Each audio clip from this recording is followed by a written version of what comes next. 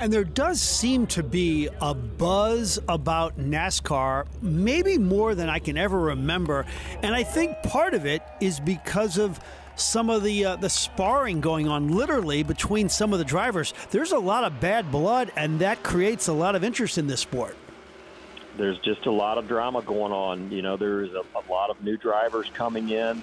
There's great parity in the cars and so it's making for the, some of the most, if not the most compelling racing in the history of the sport. And uh, listen, we're perfect. Uh, we're perfect in, in, in position to to really uh, to be a part of that story. And uh, I think in some respects, we're at the forefront of that story as we're doing we're doing here at Worldwide Technology Raceway. So Noah Gragson came out uh, right at Ross Chastain. He instigated it, and then he got so close, then Chastain just boom popped him, and that video has really gone viral. Be careful what you ask for, right? If you're Yeah. going to grab somebody, uh, you better be ready. I'm not sure he was ready for what he got. Uh, we're going to talk with uh, Ty Gibbs on the uh, television side here in about 50 minutes. And what an interesting day for him yesterday because he was in the Xfinity Series too. So he ended up driving 897 miles in one day. that, I, I don't think anybody's ever done that. Yeah, well, and I mean, it, it's just uh, it's amazing. It shows the athleticism of of the drivers, uh, and certainly that perseverance uh, to be able to do that and that concentration uh, really just shows that that he could be a future champion. He's coming along, and he was right there at the end of the Cup race as well. Uh, and and I think uh, you know he's got something in store for us. Be a great guy to watch. What you have in store for the fans this year, as opposed to last year, is something you've spent a lot of money on. Is this unique garage experience? Give our listeners a little idea what this is all about. Well, the Gateway Garage experience is something I I really just wanted to find a way to to to, to put fans in the best position to see every part of the action. And during the race, you can see all of that going on from the grandstands. But pre-race, the garages really are, are, are a hotbed of activity. And so we wanted to make sure that we got the fans up close and personal with all of that great drama that's going on in the garages. And so the Gateway Garage experience, first time ever, allows fans to get into the garages, up close to the cars, to the drivers, the crew, and see what's going on. Take the cool pictures with the family and just understand a little bit more about the drama of racing and everything that goes on.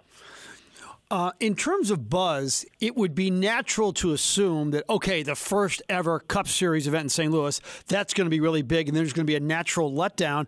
But Chris Blair was telling me the other night there hasn't been a letdown, and the ticket sales are exactly where they were the last year at this time.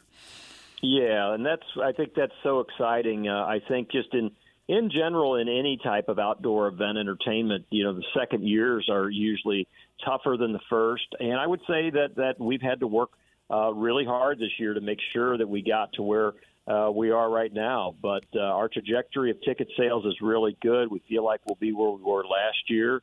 And uh, that's going to mean just another great happening, another event that's going to really kind of set the stage for for NASCAR in the future, and and making sure that for years to come we have a foundation of NASCAR racing here in the, the St. Louis region.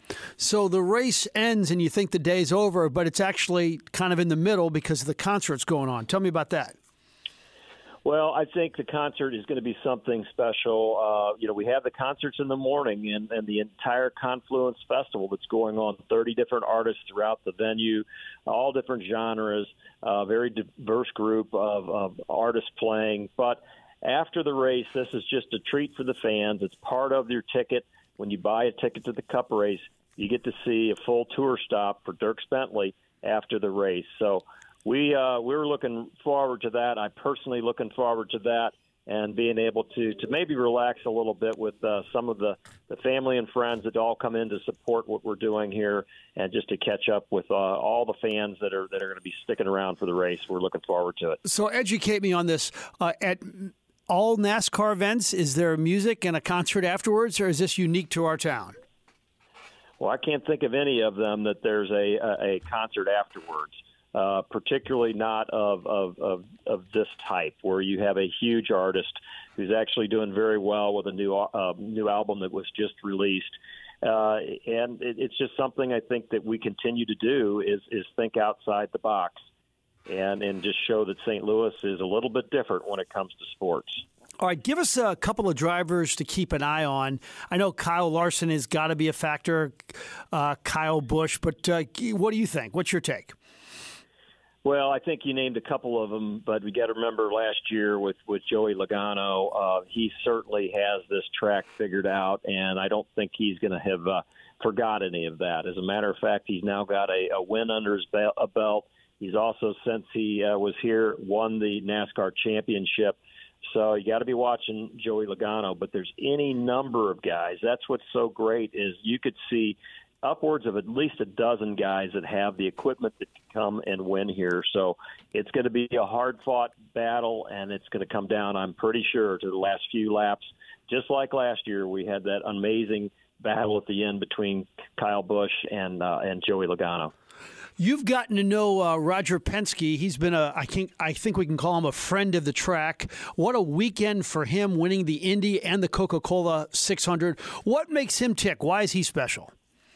Well, he is no doubt special in so many respects, but you know uh, his attention to detail is is second to none, and he does not leave anything to chance that that he can that he can really um, work on in advance. And so I think he has done that, whether it's at the racetrack, whether it's at his, his Cup team, his IndyCar team, his business, everything he does is done in a, in a way that it, that is just first class. So um, his organization um, is is just a pleasure to work with. As, as you mentioned, I've gotten to know him um, uh, well, and and just you know, a, certainly a person that if you're in the racing business uh, you can't talk about the business without talking about Roger Penske.